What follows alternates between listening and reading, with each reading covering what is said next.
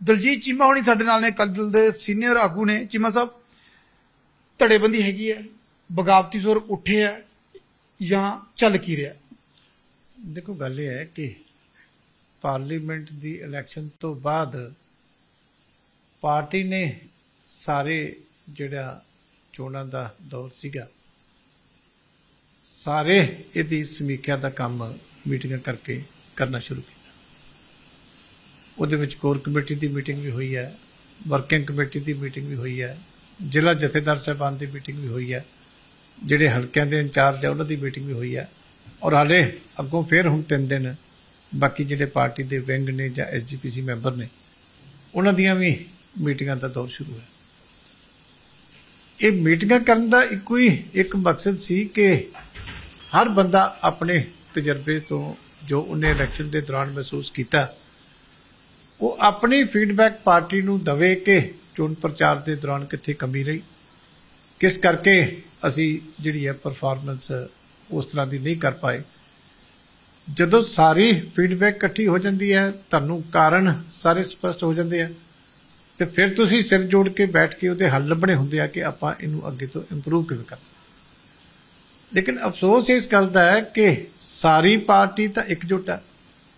ਕਿਉਂਕਿ ਹਰ ਮੀਟਿੰਗ ਦੇ ਵਿੱਚ ਭਾਵੇਂ ਵਰਕਿੰਗ ਕਮੇਟੀ ਸੀ, ਭਾਵੇਂ ਜ਼ਿਲ੍ਹਾ ਜਥੇਦਾਰ ਸੀ, ਭਾਵੇਂ ਹਲਕਾ ਇੰਚਾਰਜਾਂ ਦੀ ਸੀ। ਪ੍ਰਧਾਨ ਸਾਹਿਬ ਨੇ ਬੜਾ ਸਪਸ਼ਟ ਜਿਹੜਾ ਉੱਥੇ ਆਪਣਾ ਪੱਖ ਰੱਖਿਆ ਕਿ ਜੇ ਤੁਸੀਂ ਚਾਹੁੰਦੇ ਹੋ ਕਿ ਮੈਂ ਪ੍ਰਧਾਨ ਬਣਿਆ ਰਵਾਂ, ਤੇ ਪਹਿਲਾਂ ਇਹ ਫੈਸਲਾ ਕਰ ਲਓ ਕਿ ਮੈਂ ਪ੍ਰਧਾਨ ਤੁਸੀਂ ਰੱਖਣਾ ਚਾਹੁੰਦੇ ਕਿ ਨਹੀਂ ਰੱਖਣਾ ਚਾਹੁੰਦੇ। ਜੇ ਤੁਸੀਂ ਨਹੀਂ ਰੱਖਣਾ ਚਾਹੁੰਦੇ, ਤਾਂ ਤੁਸੀਂ ਜੋ ਮਰਜ਼ੀ ਫੈਸਲਾ ਕਰ ਲਓ, ਮੈਨੂੰ ਉਹਦੇ ਤੇ ਕੋਈ ਇਤਰਾਜ਼ ਨਹੀਂ।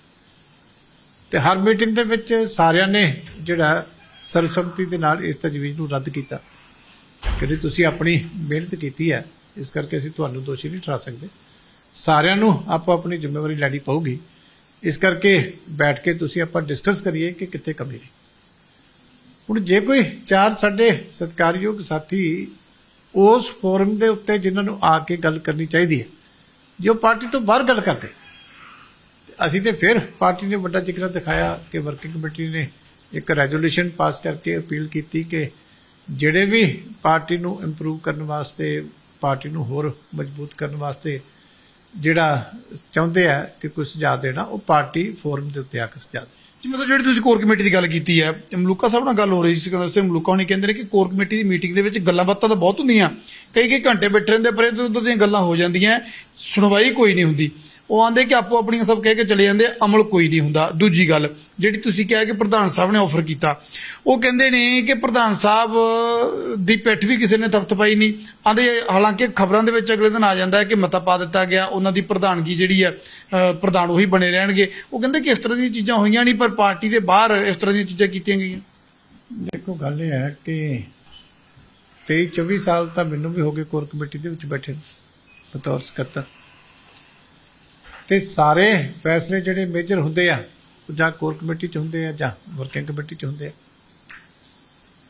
ਅੱਜ ਤੱਕ ਤੁਸੀਂ ਸੁਣਿਆ ਕਿ ਜਿਹੜੇ ਐਡੇ ਐਡੇ ਵੱਡੇ ਫੈਸਲੇ ਹੁੰਦੇ ਰਹੇ ਆ, ਇੰਨੇ ਸੈਂਸਿਟਿਵ ਫੈਸਲੇ ਹੁੰਦੇ ਰਹੇ ਆ, ਕਦੀ ਕਿਸੇ ਨੇ ਕੋਰ ਕਮੇਟੀ ਤੋਂ ਬਾਹਰ ਆ ਕੇ ਜਦੋਂ ਅਸੀਂ ਅਨਾਉਂਸਮੈਂਟ ਕਰਦੇ ਆ ਕਿ ਆ ਫੈਸਲਾ ਹੋਇਆ, ਤੇ ਕਿਸੇ ਨੇ ਵੀ ਕਦੀ ਕਿਹਾ ਹੋਵੇ ਕਿ ਨਹੀਂ, ਇਹ ਫੈਸਲਾ ਅੰਦਰ ਨਹੀਂ ਹੋਇਆ। ਹੁਣ ਤੁਸੀਂ 23 24 ਸਾਲ ਦੀ ਮੈਂ ਗੱਲ ਕਰ ਰਿਹਾ। ਤੁਸੀਂ ਹੁਣ ਜਦੋਂ ਤੁਸੀਂ ਡਿਫਰ ਕਰਨਾ ਹੁੰਦਾ ਕੋਰ ਕਮੇਟੀ ਦੀ ਬਰੀਫਿੰਗ ਤਾਂ ਆ ਨਾਲ ਦਰਵਾਜ਼ਾ 5 ਮਿੰਟ ਜਦੋਂ ਮੀਟਿੰਗ ਖਤਮ ਹੁੰਦੀ ਤੇ ਮੈਂ ਇੱਥੇ ਬੈਠ ਕੇ ਜਾਂ ਪ੍ਰਧਾਨ ਸਾਹਿਬ ਅੰਦਰ ਹੀ ਨਾਲ ਦੀ ਨਾਲ ਬਰੀਫਿੰਗ ਕਰ ਦਿੰਦੇ। ਤੇ ਜੇ ਕਿਸੇ ਨੂੰ ਲੱਗਦਾ ਕਿ ਕੋਰ ਕਮੇਟੀ ਵਿੱਚ ਨਹੀਂ ਠੀਕ ਹੋਇਆ ਤੇ ਉਹਦੇ ਕੋ ਇੰਨੇ 25 ਸਾਲ ਲੱਗ ਜਾਂਦੇ ਆ ਵੀ ਤੁਸੀਂ ਕਹਿਣ ਦਾ ਵੀ ਜਿਹੜਾ ਵੀ ਤੁਹਾਡੀ ਜਿਹੜੀ ਆ ਉੱਥੇ ਫੈਸਲੇ ਨਹੀਂ ਹੁੰਦੇ। ਸਿਕੰਦਰ ਸਿੰਘ ਮਲੂਕਾ ਕਹਿੰਦੇ ਨੇ ਕਿ ਅ, 48 ਸਾਲ ਕਹਿੰਦੇ ਪਾਰਟੀ ਨੂੰ ਦਿੱਤੇ 48 ਸਾਲ ਹੁਣ ਵੀ ਕਹਿੰਦੇ ਨਾਲ ਹੀ ਆ। ਪਰ ਉਹ ਕਹਿੰਦੇ ਕਿ ਸੁਖਬੀਰ ਸਿੰਘ ਬਾਦਲ ਨੂੰ ਜਦੋਂ ਕੋਈ ਗੱਲ ਕੀਤੀ ਤਾਂ ਉਹਨਾਂ ਨੇ ਸਾਫ਼ ਤੌਰ ਤੇ ਸਪਸ਼ਟ ਉਹ ਕਹਿੰਦੇ ਮੇਰੇ ਮੂੰਹ ਤੇ ਕਿਹਾ ਕਿ ਇੱਕ ਬੰਦੇ ਦੀ ਚੱਲੇਗੀ ਪ੍ਰਧਾਨ ਹੀ ਫੈਸਲਾ ਲਊਗਾ ਇਦਾਂ ਬਹੁਤਿਆਂ ਦੀਆਂ ਰਾਇਆਂ ਦੇ ਵਿੱਚ ਕੋਈ ਮਸਲਾ ਹੱਲ ਨਹੀਂ ਹੁੰਦਾ। ਚਲੋ ਮਲੂਕਾ ਸਾਹਿਬ ਤਾਂ ਬਹੁਤ ਪੁਰਾਣੇ ਨੇ ਮੇਰੇ ਤੋਂ ਵੱਡੇ ਨੇ ਸੀਨੀਅਰ ਨੇ। ਵੱਡੇ ਬਾਦਲ ਸਾਹਿਬ ਨਾਲ ਵੀ ਉਹਨਾਂ ਨੇ ਬਹੁਤ ਲੰਬਾ ਸਮਾਂ ਕੰਮ ਕੀਤਾ। ਸਰਦਾਰ ਸੁਖਬੀਰ ਸਿੰਘ ਬਾਦਲ ਨਾਲ ਵੀ ਉਹਨਾਂ ਦਾ ਬੜਾ ਨੇੜ ਦਾ ਰਿਸ਼ਤਾ ਰਿਹਾ। ਇਸ ਕਰਕੇ ਉਹਨਾਂ ਦੀਆਂ ਜਾਤੀ ਆਪੋ ਦੇ ਵਿੱਚ ਕੀ ਗੱਲਾਂ ਹੁੰਦੀਆਂ, ਉਹ ਤਾਂ ਮੈਂ ਕਮੈਂਟ ਨਹੀਂ ਕਰਨਾ ਚਾਹੁੰਦਾ। ਇਹ ਤਾਂ ਉਹ ਦੱਸ ਸਕਦੇ ਜਾਂ ਪ੍ਰਧਾਨ ਜੀ ਦੱਸ ਸਕਦੇ ਆ। ਪਰ ਇੱਥੇ ਮੀਟਿੰਗਾਂ ਦੇ ਵਿੱਚ ਤਾਂ ਹਮੇਸ਼ਾ ਅਸੀਂ ਦੇਖਦੇ ਕਿ ਮੈਂ ਤਾਂ ਜੋ ਕੋਰ ਕਮੇਟੀ ਦੀ ਮੀਟਿੰਗ ਦੇ ਵਿੱਚ ਹੁੰਦਾ, ਮੈਂ ਤਾਂ ਉਹਦੇ ਤੇ ਕਮੈਂਟ ਕੀਤਾ। ਸੁਖਬੀਰ ਸਿੰਘ ਬਾਦਲ ਨੂੰ ਮਲੂਕਾ ਕਹਿੰਦੇ ਨੇ ਕਿ ਮੈਂ ਉਹ ਬੰਦਾ ਹੈ ਕਿ ਜਿਹੜਾ ਹਾਮੀ ਸੀ ਸਭ ਤੋਂ ਪਹਿਲਾਂ ਕਿ ਸੁਖਬੀਰ ਸਿੰਘ ਬਾਦਲ ਨੂੰ ਮੁੱਖ ਮੰਤਰੀ ਹੋਣਾ ਚਾਹੀਦਾ। ਉਹ ਆਂਦੇ ਮੈਂ ਬਾਦਲ ਸਾਹਿਬ ਨੂੰ ਦੋ ਵਾਰੀ ਕਿਹਾ ਸੀ ਕਿ ਇਹਨਾਂ ਨੂੰ ਮੁੱਖ ਮੰਤਰੀ ਬਣਾ ਦਿਓ ਤੇ ਆਪ ਤੁਸੀਂ ਪਾਰਟੀ ਦੇ ਪ੍ਰਧਾਨ ਬਣ ਜਾਓ। ਪਰ ਅੱਜ ਮਲੂਕਾ ਸਾਹਿਬ ਕਹਿੰਦੇ ਆ ਕਿ ਪ੍ਰਧਾਨਗੀ ਵਾਲੀ ਕੁਰਸੀ ਤੋਂ ਸੁਖਬੀਰ ਸਿੰਘ ਬਾਦਲ ਨੂੰ ਲਾਂਭੇ ਹੋਣਾ ਚਾਹੀਦਾ ਨਹੀਂ, ਦੇਖੋ, ਉਹਨਾਂ ਦਾ ਆਪਣਾ ਅਲੱਗ ਵਿਚਾਰ ਹੋ ਸਕਦਾ ਪਰ ਮੈਂ ਸਮਝਦਾ ਕਿ ਜਦੋਂ ਇੱਕ ਪਾਸੇ ਅਫੀਸ਼ੀਅਲੀ ਤੁਸੀਂ ਜਿਹੜੀ ਹੈ ਡਿਸਕਸ਼ਨ ਦੀ ਪ੍ਰੋਸੈਸ ਸ਼ੁਰੂ ਕੀਤੀ ਹੈ ਵੀ ਆਪਣੀ ਹਾਰ ਦੇ ਕਾਰਨ ਕੀ ਬਣੇ, ਤੇ ਹਾਲੇ ਉਹ ਕੰਮ ਸ਼ੁਰੂ ਨਹੀਂ ਹੋਇਆ, ਤੁਸੀਂ ਜੱਜਮੈਂਟ ਵੀ ਦਿੱਤੀ। ਹਾਲੇ ਕੇਸ ਸ਼ੁਰੂ ਨਹੀਂ ਹੋਇਆ। ਤੇ ਤੁਸੀਂ ਪ੍ਰੈਸ ਕਾਨਫਰੰਸ ਕਰਕੇ ਜੱਜਮੈਂਟ ਵੀ ਦਿੱਤੀ ਤੇ ਉਹ ਕਿਤੇ ਨਾ ਕਿਤੇ ਗੱਲ ਲੱਗਦਾ ਕਿ ਬਾਇਸਡ ਹੈ। ਵੀ ਤੁਹਾਨੂੰ ਜਿਹੜਾ ਨਾਲ ਦੀ ਨਾਲ ਕਿੱਥੋਂ ਪਤਾ ਲੱਗਿਆ ਫਿਰ ਇਸੇ ਗੱਲ ਦਾ। ਫਿਰ ਆ ਜਿਹੜੀਆਂ ਮੀਟਿੰਗਾਂ, ਇੰਨਾ ਦੌਰ ਹਾਲੇ ਚੱਲਦਾ ਪਿਆ ਹਫ਼ਤੇ ਤੋਂ। ਇਹਦਾ ਮਤਲਬ ਬਾਕੀ ਜਿੰਨੇ ਲੋਕੀ ਆ ਰਹੇ ਹੋ, ਸਾਰੇ ਝੂਠ ਬੋਲ ਰਹੇ। ਉਹ ਕਹਿੰਦੇ ਸਾਨੂੰ ਕੋਈ ਸੁਨੇਹਾ ਵੀ ਮਗਰ ਨਹੀਂ ਆਇਆ ਜੇ ਗੁੱਸੇ ਵੀ ਹੋ ਗਏ ਸੀ ਤਾਂ ਮਗਰ ਕੋਈ ਸੁਨੇਹਾ ਵੀ ਨਹੀਂ ਗਿਆ। ਬਾਲ ਸਾਹਿਬ ਨੇ ਕਹਿੰਦੇ ਫੋਨ ਤੱਕ ਨਹੀਂ ਕੀਤਾ ਕਿਸੇ ਨੇ ਕੋਈ ਸੁਨੇਹਾ ਨਹੀਂ ਲਾਇਆ। ਮਨਾਉਣ ਦੀ ਕੋਸ਼ਿਸ਼ ਹੀ ਨਹੀਂ ਕਹਿੰਦੇ ਕਰਦੇ ਕਿਸੇ ਨੂੰ ਜਿਹੜਾ ਉੱਠ ਜਾਂਦਾ। ਨਹੀਂ ਨਹੀਂ ਏਡੀ ਤਾਂ ਕੋਈ ਗੱਲ ਨਹੀਂ ਹੈਗੀ। ਕਰ ਬਾਦਲ ਸਾਹਿਬ ਆਪ ਤਾਂ ਜਿਹੜੇ ਆ ਮੀਟਿੰਗਾਂ ਦੇ ਮੈਸੇਜ ਨਹੀਂ ਲਾਉਂਦੇ। ਮੀਟਿੰਗਾਂ ਦੇ ਮੈਸੇਜ ਹਮੇਸ਼ਾ ਪਾਰਟੀ ਦਾ ਦਫ਼ਤਰ ਹੀ ਸਾਡਾ ਸਟਾਫ ਹੀ ਲਗਾਉਂਦਾ। ਉਹ ਮੀਟਿੰਗਾਂ ਦਾ ਸੁਨੇਹਾ ਲਾਉਣ ਵਾਲੇ ਵੀ ਤੁਹਾਡੇ ਚਲੇ ਗਏ ਸੀ ਪਿਛਲੇ ਦਿਨਾਂ ਚ। ਚਰਨਜੀਤ ਸਿੰਘ ਬਰਾੜ ਹੋਣੀ ਵੀ। ਆਪ ਬੇਨਤੀ ਕਰਦਾ ਸੀ ਜਦੋਂ ਉਹਨਾਂ ਨੇ ਕਿਹਾ ਸਨੇਹ ਨਹੀਂ ਆਇਆ ਵੀ ਤੁਸੀਂ ਆਓ। ਇਸ ਤਾਂ ਆਪ ਕਿੰਨੀ ਵਾਰੀ ਬੇਨਤੀ ਕੀਤੀ ਕਿ ਆਓ, ਕਿਉਂਕਿ ਸਾਡੇ ਸਾਥੀ ਨੇ, ਸਾਡਾ ਆਪੋ ਚ ਬੜਾ ਪਿਆਰ ਹੈ ਇਸ ਕਰਕੇ ਅਸੀਂ ਤਾਂ ਹੱਥ ਜੋੜਦੇ ਸੀ ਵੀ ਆਓ। ਪਰ ਹੁਣੇ ਤਾਂ ਉਹਨਾਂ ਨੂੰ ਬੈਟਰ ਪਤਾ ਕਿ ਉਹ ਕਿਉਂ ਨਹੀਂ ਆਏ। ਉਹ ਕਹਿੰਦੇ ਕਿ ਸਤਕਾਰ ਨਹੀਂ ਮਿਲਦਾ। ਉਹ ਕਹਿੰਦੇ ਪਤਾ ਨਹੀਂ ਵੱਡੇ ਬਾਲ ਸਾਹਿਬ ਤੋਂ ਸੁਖਬੀਰ ਸਿੰਘ ਬਾਦਲ ਨੇ ਸ਼ਾਇਦ ਕਹਿੰਦੇ ਚੀਜ਼ਾਂ ਸਿੱਖੀਆਂ ਨਹੀਂ। ਉਹਦੇ ਬਾਦਲ ਸਾਹਿਬ ਦੇ ਹੁੰਦਿਆਂ ਕਦੇ ਕੋਈ ਪਰੇਸ਼ਾਨੀ ਨਹੀਂ ਆਈ। ਪਰ ਸੁਖਬੀਰ ਸਿੰਘ ਬਾਦਲ ਤੇ ਬੀਬੀ ਹਰਸਿਮਰਤ ਕੌਰ ਬਾਦਲ, ਉਹ ਕਹਿੰਦੇ ਮੰਚ ਤੋਂ ਆਪਦੇ ਸੀਨੀਅਰ ਆਗੂਆਂ ਨੂੰ ਸਤਿਕਾਰ ਨਹੀਂ ਦਿੰਦੇ। ਮੰਚ ਤੋਂ ਕਿਸੇ ਦਾ ਨਾਮ ਨਹੀਂ ਲੈਣਾ ਚਾਹੁੰਦੇ। ਉਹਦੇ ਜੇ ਅਸੀਂ ਕਿਤੇ ਨਾਲ ਵੀ ਬੈਠੇ ਹੁੰਨੇ ਆ, ਤਾਂ ਸਾਡੀ ਫੋਟੋ ਵੀ ਨਾਲੋਂ ਗਾਇਬ ਹੋ ਜਾਂਦੀ ਹੈ ਦੇਖੋ, ਇਹ ਗੱਲ ਤਾਂ ਮੈਂ ਉਹਨਾਂ ਦੀ ਮੰਨਦਾ ਵੀ ਕੱਲਾ ਸਰਦਾਰ ਸੁਖਬੀਰ ਸਿੰਘ ਬਾਦਲ ਨੇ ਨਹੀਂ, ਅਸੀਂ ਕਿਸੇ ਨੇ ਵੀ ਬਾਲ ਸਾਹਿਬ ਕੋਲ ਨਹੀਂ ਕੁਝ ਸਿੱਖਿਆ। ਕਿਉਂਕਿ ਜਿੱਡੀ ਵੱਡੀ ਉਹ ਸ਼ਖਸੀਅਤ ਸੀ, ਕਿਉਂਕਿ ਸਭ ਤੋਂ ਵੱਡੀ ਗੱਲ ਜਿਹੜੀ ਬਾਦਲ ਸਾਹਿਬ ਕਰਦੇ ਹੁੰਦੇ ਸੀ ਵੀ ਪਾਰਟੀ ਦਾ ਕਦੀ ਵਿਰੋਧ ਨਾ ਕਰੋ। ਉਹ ਸਾਰਿਆਂ ਵਾਸਤੇ ਅਹ, ਲਾਗੂ ਹੁੰਦਾ ਸੀ ਵੀ ਗੱਲ ਜਿਹੜੀ ਕਰਨੀ ਹੈ ਪਾਰਟੀ ਦੇ ਵਿੱਚ ਕਰੋ ਤੇ ਜਿਹੜਾ ਫੈਸਲਾ ਹੋ ਜੇ ਉਹਦੇ ਨਾਲ ਖੜੋ ਸਾਡਾ ਬਹੁਤ ਵਾਰੀ ਇੱਥੇ ਹੁੰਦਾ ਸਾਡੀ رائے ਆਪਣੀ ਵੱਖਰੀ ਹੁੰਦੀ ਹੈ ਪਰ ਜੋ ਕੋਰ ਕਮੇਟੀ ਦੀ ਮੈਜੋਰਟੀ ਫੈਸਲਾ ਕਰ ਦਿੰਦੀ ਹੈ ਤੇ ਇੱਥੇ ਆ ਕੇ ਮੈਨੂੰ ਬਰੀਫਿੰਗ ਜਿਹੜੀ ਕਰਨੀ ਪੈਂਦੀ ਹੈ ਮੈਂ ਉਹੀ ਕਰਦਾ ਜੋ ਅੰਦਰ ਅਹ, ਜਿਹੜਾ ਪਾਰਟੀ ਦਾ ਫੈਸਲਾ ਹੁੰਦਾ ਨਾ ਕਿ ਉਹ ਗੱਲ ਦੀ ਕਰਦਾ ਜੋ ਮੈਂ ਅੰਦਰ ਕਿਹਾ ਹੁੰਦਾ ਕਿਉਂਕਿ ਜਿਹੜੀ ਡੈਮੋਕ੍ਰੇਸੀ ਹੈ ਇਸੇ ਤਰੀਕੇ ਚੱਲਦੀ ਹੈ। ਜਲੰਧਰ ਦੀ ਜ਼ਿਮਨੀ ਚੋਣ ਦੇ ਵਿੱਚ ਸਥਿਤੀ ਬੜੀ ਅਜੀਬ ਨਜ਼ਰ ਆਉਂਦੀ ਹੈ। ਕਹਿੰਦੇ ਕਿ ਜਿਹੜਾ ਉਮੀਦਵਾਰ ਤੱਕੜੀ ਚੋਣ ਨਿਸ਼ਾਨ ਤੇ ਲੜ ਰਿਹਾ ਅਕਾਲੀ ਦਲ ਉਸ ਤੱਕੜੀ ਚੋਣ ਨਿਸ਼ਾਨ ਦੇ ਖਿਲਾਫ ਸਮਰਥਨ ਦੇ ਰਿਹਾ ਬਹੁਜਨ ਸਮਾਜ ਪਾਰਟੀ ਨੂੰ ਹਾਥੀ ਨੂੰ ਯਾਨੀ ਅਕਾਲੀ ਦਲ ਨੇ ਤੱਕੜੀ ਛੱਡ ਕੇ ਹਾਥੀ ਵਾਲੇ ਪਾਸੇ ਸਮਰਥਨ ਦਿੱਤਾ। ਨਹੀਂ ਗੱਲ ਇਹ ਹੈ ਕਿ ਪਹਿਲੀ ਤਾਂ ਇਹ ਹਕੀਕਤ ਹੈ ਕਿ ਜਿਹੜਾ ਜਲੰਧਰ ਵੈਸਟ ਦਾ ਹਲਕਾ ਹੈ, ਉਹ 23 ਸਾਲ ਤੋਂ ਭਾਰਤੀ ਜਨਤਾ ਪਾਰਟੀ ਲਗਾਤਾਰ ਲੜਦੀ ਸੀ। ਸਾਡਾ ਉੱਥੇ ਜਥੇਬੰਦੀ ਬਹੁਤ ਸ਼ਹਿਰ ਦੇ ਵਿੱਚ ਕਮਜ਼ੋਰ। ਹੈ। ਇਸ ਪਾਰਲੀਮੈਂਟ ਦੇ ਵਿੱਚ ਵੀ ਸਾਨੂੰ 2600 ਵੋਟ ਉੱਥੇ ਪਈ ਹੈ। ਇਸ ਕਰਕੇ ਸਾਡੀ ਜਿਹੜੀ ਸ਼ਹਿਰ ਦੀ ਜਥੇਬੰਦੀ ਹੈ, ਸਰਦਾਰ ਕੁਲਵੰਤ ਸਿੰਘ ਬੰਨਣ ਪ੍ਰਧਾਨ ਨੇ, ਉਹਨਾਂ ਸਾਰਿਆਂ ਨੇ ਆ ਕੇ ਇੱਥੇ ਪ੍ਰਧਾਨ ਸਾਹਿਬ ਨੂੰ ਕਿਹਾ ਸੀ ਕਿ ਸਾਨੂੰ 2 ਸਾਲ ਲਾ ਕੇ ਪਹਿਲਾਂ ਜਥੇਬੰਦੀ ਬਣਾਉਣ ਦਿਓ। ਇਲੈਕਸ਼ਨ ਲੜਨ ਦਾ ਇੱਥੇ ਫਾਇਦਾ ਕੋਈ ਨਹੀਂ। ਇਹ ਉਹਨਾਂ ਦੀ, ਜੇ ਲੋਕਲ ਯੂਨਿਟ ਦੀ ਆਪਣੀ ਇਹ ਰਾਏ ਸਾਰੇ ਇੱਥੇ ਆ ਕੇ ਬੜਾ ਕਰਕੇ ਗਏ। ਪਰ ਫਿਰ ਵੀ ਸਾਡੇ ਕੁਝ ਲੀਡਰ ਚਾਹੁੰਦੇ ਸੀ ਤੇ ਬੀਬੀ ਜੀ ਵੀ ਚਾਹੁੰਦੇ ਸੀ, ਜਗੀਰ ਕੌਰ ਜੀ ਤੇ ਪ੍ਰਧਾਨ ਸਾਹਿਬ ਨੇ ਕਮੇਟੀ ਬਣਾਤੀ। ਕੱਲ ਡਾਕਟਰ ਸੁਖੀ ਜੀ ਇੱਥੇ ਤੁਹਾਡੇ ਸਾਹਮਣੇ ਜਿਹੜੇ ਕਮੇਟੀ ਦੇ ਮੈਂਬਰ ਸੀ, ਉਹ ਆਪ ਦੱਸ ਕੇ ਗਏ ਆ ਕਿ ਜਦੋਂ ਅਸੀਂ ਕਮੇਟੀ ਦੀ ਮੀਟਿੰਗ ਕਰ ਰਹੇ ਸੀ, ਤੇ ਪ੍ਰਧਾਨ ਜੀ ਦਾ ਫੋਨ ਗਿਆ ਸੀ ਵੀ ਸਾਡੀ ਬਸਪਾ ਨਾਲ ਗੱਲ ਚੱਲ ਰਹੀ ਹੈ ਵੀ ਹੋ ਸਕਦਾ ਅਸੀਂ ਸੀਟ ਉਹਨਾਂ ਨੂੰ ਛੱਡ ਦਈਏ। ਤੇ ਕਹਿੰਦੇ ਅਸੀਂ ਸਾਰਿਆਂ ਨੇ ਬੀਬੀ ਜੀ ਸਮੇਤ ਹਾਮੀ ਭਰੀ ਸੀ। ਤੇ ਜਿਹੜਾ ਕੈਂਡੀਡੇਟ ਵੀ ਸੀ ਬੀਬੀ ਸਰਜੀਤ ਕੌਰ ਉਹਨੂੰ ਵੀ ਕਨਵੇ ਕਰ ਦਿੱਤਾ ਸੀ ਵੀ ਇਹ ਸੀਟ ਸ਼ਾਇਦ ਸਾਨੂੰ ਬਸਪਾ ਨੂੰ ਛੱਡਣੀ ਪਵੇ। ਨਹੀਂ ਪਰ ਜਿਹੜਾ ਸਿੰਬਲ ਦਿੱਤਾ ਉਹ ਤਾਂ ਪ੍ਰਧਾਨ ਸਾਹਿਬ ਦੀ ਚਿੱਠੀ ਨਾਲ ਹੀ ਕਹਿੰਦੇ ਸਿੰਬਲ ਦਿੱਤਾ ਗਿਆ। ਬਿਲਕੁਲ 100% ਸਹੀ ਹੈ। ਸਾਡੇ ਦਫ਼ਤਰ ਦੇ ਵਿੱਚੋਂ ਸਿੰਬਲ ਗਿਆ। ਪਰ ਤੁਸੀਂ ਕੈਂਡੀਡੇਟ ਨੂੰ ਦੱਸ ਰਹੇ ਹੋ ਵੀ ਲਾਸਟ ਡੇਟ ਆਫ ਵਿਡਰਲ ਤੱਕ ਹੋ ਸਕਦਾ ਹੈ ਵਾਪਸ ਕਰਨਾ ਪਵੇ ਇਹ ਬਹੁਤ ਵਾਰੀ ਹੁੰਦਾ। ਇਹ ਕੋਈ ਨਵੀਂ ਗੱਲ ਨਹੀਂ ਹੈਗੀ ਰਾਜਨੀਤੀ ਦੇ ਵਿੱਚ। ਇਹ ਕੋਈ ਅਨੋਖੀ ਗੱਲ ਹੋ ਗਈ ਹੈ ਵੀ ਸਿੰਬਲ ਦਿੱਤਾ। ਸਿੰਬਲ ਤਾਂ ਕੀ ਪਾਰਟੀਆਂ ਤਾਂ ਕਈ ਵਾਰੀ ਵੋਟਾਂ ਪੈਣ ਤੋਂ ਦੋ ਦਿਨ ਪਹਿਲਾਂ ਵੀ ਕੈਂਡੀਡੇਟ ਕਈ ਵਾਰੀ ਫੈਸਲੇ ਕਰਕੇ ਵਿਡਰਾ ਕਰ ਲੈਂਦੀਆਂ। ਪਰ ਦੂਜਾ ਧੜਾ ਇਸ ਵਾਰੀ ਇਹ ਕਹਿ ਰਿਹਾ ਕਿ ਵੱਖਰੀ ਗੱਲ ਇਹ ਹੋ ਰਹੀ ਹੈ ਕਿ ਅਕਾਲੀ ਦਲ ਤੱਕੜੀ ਦੇ ਖਿਲਾਫ ਪ੍ਰਚਾਰ ਕਰੇਗਾ। ਜਿਹੜੀ ਗੱਲ ਮਾੜੀ ਹੈ ਉਹ ਮੈਂ ਜ਼ਰੂਰ ਕਹਿਣੀ ਚਾਹਾਂਗਾ ਕਿ ਬੀਬੀ ਜੀ ਹਰੀ ਉਹਦੇ ਫਾਰਮ ਤਾਂ ਭਰਾ ਹੈ। ਉਹ ਬਹੁਤ ਸਾਡਾ ਪੁਰਾਣਾ ਜਹੇਦਾਰ ਪ੍ਰੀਤਮ ਸਿੰਘ ਬਸਤੀ ਮਿੱਠੂ ਬਹੁਤ ਪੁਰਾਣਾ ਲੀਡਰ ਹੈ ਸਾਰੀ ਉਮਰ ਉਹਨੇ ਸ਼੍ਰੋਮਣੀ ਅਕਾਲੀ ਦਲ ਨੂੰ ਦਿੱਤੀ। ਬੜਾ ਵਧੀਆ ਸਾਡਾ ਰਾਜਪੂਤ ਰਾਜ ਦਾ ਲੀਡਰ ਸੀ। ਉਹਦੀ ਪਿੱਛੇ ਡੈਥ ਹੋ ਗਈ। ਉਹਦਾ ਬੇਟਾ ਵੀ ਜਿਹੜਾ ਉਹ ਬਹੁਤ ਅੱਛਾ ਜਿਹੜਾ ਸਾਡੇ ਪਾਰਟੀ ਦੇ ਵਿੱਚ ਕੰਮ ਕਰਦਾ। ਬੀਬੀ ਜੀ ਨੂੰ ਤੁਸੀਂ ਖੜਾ ਤਾਂ ਕਰ ਦਿੱਤਾ ਸੁਰਜੀਤ ਕੌਰ ਨੂੰ। ਹਾਲੇ ਕਿ ਪਰਿਵਾਰ ਵਿਚਾਰਾ ਜੈਦਾਰ ਜੀ ਲੰਮਾ ਸਮਾਂ ਬਿਮਾਰ ਰਹੇ, ਬਹੁਤ ਖਰਚਾ ਹੋਇਆ ਉਹਨਾਂ ਤੇ। ਬੜੀਆਂ ਆਰਥਿਕ ਤੰਗੀਆਂ ਚੋਂ ਨਿਕਲ ਰਿਹਾ। ਐਸ ਬਾਈ ਇਲੈਕਸ਼ਨ ਦੇ ਵਿੱਚ ਜਿੱਥੇ ਸਾਰਿਆਂ ਨੂੰ, ਲੀਡਰਾਂ ਨੂੰ ਪਤਾ ਵੀ ਕਿੰਨਾ ਖਰਚਾ ਹੁੰਦਾ, ਤੁਸੀਂ ਬੀਬੀ ਜੀ ਨੂੰ ਇਲੈਕਸ਼ਨ ਦੇ ਵਿੱਚ ਤਾਂ ਫਸਾ ਦਿੱਤਾ। ਤੇ ਤੁਸੀਂ ਇੰਨਾ ਤਾਂ ਬੀਬੀ ਜੀ ਤੇ ਤਰਸ ਕਰ ਲੈਂਦੇ ਵੀ ਆ ਬਗਾਵਤ ਆਪਣੀ ਉਸੇ ਸ਼ਹਿਰ ਦੇ ਵਿੱਚ ਇਹ ਦੋ ਹਫ਼ਤੇ ਅੱਗੇ ਪਾ ਲੈਂਦੇ ਉਹਨਾਂ ਨੂੰ ਤੁਸੀਂ ਚੋਣਾਂ ਦੇ ਪੇਪਰ ਭਰਾਤੇ ਤੇ ਜਲੂਸ ਪਾਰਟੀ ਦਾ ਉਸੇ ਸ਼ਹਿਰ ਦੇ ਵਿੱਚ ਕੱਢੀ ਜਾਂਦੀ ਉਹ ਤੁਹਾਨੂੰ ਸ਼ੋਭਾ ਦਿੰਦਾ। ਇਹ ਬੜੀਆਂ ਪ੍ਰੈਸ ਕਾਨਫਰੰਸਾਂ ਕਰ ਕਰਕੇ ਇਹ ਤੇ ਆਪਣੇ ਪੱਖ ਪੇਸ਼ ਕਰਦੇ ਆ। ਕਿੰਨੇ ਉਹਦਾ ਫਿਊਚਰ ਖਰਾਬ ਕੀਤਾ ਤੁਸੀਂ ਉੱਥੇ, ਜੇ ਬਗਾਵਤ ਨਾ ਕਰਦੇ ਜਲੰਧਰ ਦੇ ਵਿੱਚ। ਉੱਥੋਂ 2 ਕਿਲੋਮੀਟਰ ਹੈ ਹਲਕਾ, ਜਿੱਥੇ ਤੁਸੀਂ ਬੈਠ ਕੇ ਤੇ ਪਾਰਟੀ ਦੇ ਖਿਲਾਫ ਬਗਾਵਤ ਕਰ ਰਹੇ ਹੋ, ਪ੍ਰੈਸ ਕਾਨਫਰੰਸਾਂ ਕਰ ਰਹੇ ਹੋ। ਤੇ ਤੁਸੀਂ ਬੀਬੀ ਦੇ ਹੱਕ 'ਚ ਪ੍ਰਚਾਰ ਕਰਦੇ ਪਏ ਹੋ ਕਿ ਤੁਸੀਂ ਸਾਜ਼ਿਸ਼ ਰਚੀ, ਵੀ ਉਹਦੇ ਉਹਨੂੰ ਫਸਾ ਦਿਓ ਇਲੈਕਸ਼ਨ ਦੇ ਵਿੱਚ ਵੋਟਾਂ ਹੋਰ ਘੱਟ ਪੈਣਗੀਆਂ ਤੇ ਫਿਰ ਪ੍ਰਧਾਨ ਦੀ ਅਸਤੀਫਾ ਮੰਗਣਾ ਹੋਰ ਸੌਖਾ ਹੋ ਜਾਊਗਾ। ਜਦੋਂ ਅਖੀਰ ਤੇ ਵਿਡਰਾਲ ਤੋਂ ਪਹਿਲਾਂ ਪਹਿਲਾਂ ਪਾਰਟੀ ਦਾ ਸੁਨੇਹਾ ਪਹੁੰਚ ਗਿਆ ਵੀ ਵਿਡਰਾ ਕਰ ਲਓ, ਤੁਸੀਂ ਕਿਉਂ ਨਹੀਂ ਵਿਡਰਾ ਕਰਨ ਦਿੱਤੇ ਪੇਪਰ? ਬੀਬੀ ਸੁਰਜੀਤ ਕੌਰ ਦਾ ਕਸੂਰ ਨਹੀਂ ਹੈ। ਇਹ ਜਿਹੜੇ ਲੀਡਰ ਉੱਥੇ ਇਸ ਤਰੀਕੇ ਹੈਂਡਲ ਕਰ ਰਹੇ ਆ ਉਹਨਾਂ ਨੂੰ ਸੋਚਣਾ ਚਾਹੀਦਾ ਹੈ ਕਿ ਇਸ ਤਰ੍ਹਾਂ ਤੁਸੀਂ ਉਸ ਪੁਰਾਣੇ ਪਰਿਵਾਰ ਨੂੰ ਜਥੇਦਾਰ ਦੇ ਪਰਿਵਾਰ ਨੂੰ ਤੁਸੀਂ ਉਹਦੇ ਨਾਲ ਇਹ ਟ੍ਰੀਟਮੈਂਟ ਕਿਉਂ ਕਰ ਰਹੇ ਹੋ?